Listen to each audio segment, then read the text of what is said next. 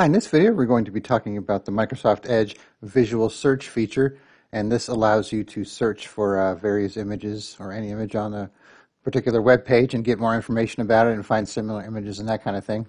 So it's really similar to the uh, Google Lens feature so if you're a Chrome user that you could uh, check for related content based on an image search in uh, Google Chrome. So we're going to open up Edge here.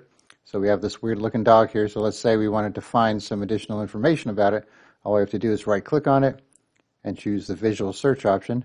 Then it'll open a new pane on the right here with all the information it finds or you can narrow it down to looks like.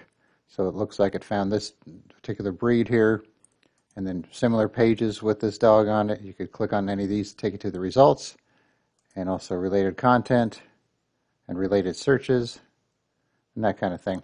So it's a little different than if you were to usually just go on and do a right click and then a search web for this image. It'll kind of do the same thing, but it'll open it in a new tab and you'll have similar categories. So just the visual search does a similar thing. It just opens it in its own pane right here.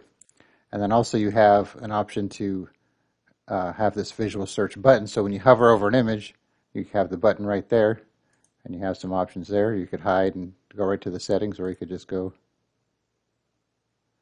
right to the same results. Speaking of settings, if you go to your Edge settings, and then the appearance category, not sure why it's under appearance, you'll find under context menus, uh, visual search, and then you have the option to turn it off for the right click uh, option. I don't know why you'd want to turn that off. It's not it gets in the way. And then that little hover over button that I showed you, you could turn that off and on as well. And then if you want to turn off the capability to use it on particular websites, you could add websites right to it from here. So just a few options you could do.